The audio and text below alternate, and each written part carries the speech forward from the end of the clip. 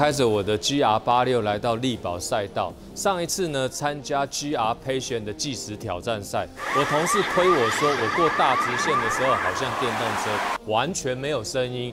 所以这一次呢，我特地改了排气管。那感谢我的赞助商 FI 的 X Hoset，它等于算是我 GR 八六的第一阶改装。那这个 FI 的 X Hoset 就是跟我人生第一台车大发新像那种土炮改不一样，它的声音呢很，而且重点是它的阀门呢是可以电子调整，甚至我刚才在验车的时候，你知道我的噪音分贝只有八十五。但是你知道吗？你在全油门加速的时候，那个声音不会吵杂，不会像过去改装土炮那种啊震天尬响，我的天啊，一样也拔。这一次不会，而且呢，据说马力还可以微幅提升，所以待会呢，我就要认真的来跑一下，看看这一次的单圈成绩能够提升多少。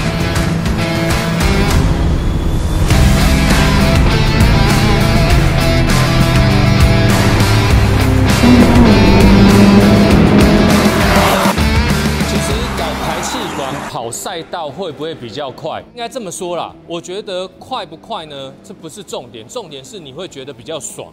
那像早上呢，我跑出了两分零八秒，可是我觉得如果排气管改他们的就是全段，就是包含它的当派，我相信马力的确会提升。因为我没有去实际的上马力机，不过我觉得有一个重点就是。这个排气管呢，它基本上它不会吵，即使阀门打开的时候呢，它会让你听到那一种悦耳的声浪，就是它也不会出现排气脉冲那一种不顺的感觉。然后也当然因为是自然进气，所以它也不会乱放屁。就是你突然降档的时候，你还是可以感觉到那种突然产生那个音频的喜悦。比较特别的是，我因为选择的是它的 T 三零四不锈钢系列。里面的黑色的呃这个尾管，为什么？因为我觉得刚好黑色会给人家一点点神秘的感觉，而且它跟厚薄感下摆的分流器，它那个颜色比较搭。那顺便提一下，这个 T 三零四呢，我觉得焊工算是相当的精细，它是用三 D 立体的焊接跟它的做工，而且呢，它已经尽量减少焊点。减少焊点有什么好处？就是你焊点太多呢，如果你没有焊好。它可能就是你在剧烈超架，或者是因为高温，它可能会从焊点那边漏气，会影响你的排气回压。那再来就是它全部呢都是可以锁螺丝的，它基本上不用在你车体上钻孔，它就是对照原厂的那些脚架哦来做施工，所以我觉得整个精密度呢相当的棒。尤其呢，它还有一个阀门的遥控器，那它是需要接线。那昨天在 LISB 那边施工呢，它不会给你廉价感，他们连施工都很精细，它基本上算是台湾精品。那除了这些呢，还有一个很好玩，我觉得很高科技，就是它有一个 App。这个 App 呢，你在 Race 的模式下切下去呢，它阀门是开启的。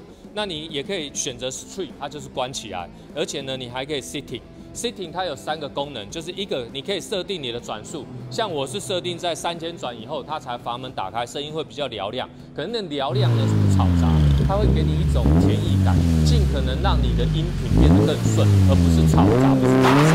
然后再来就是，你也可以透过就是这个 App 呢去设定你的时速，就是有的人可能他觉得，哎，我时速一百二以后阀门开启再大声就可以了。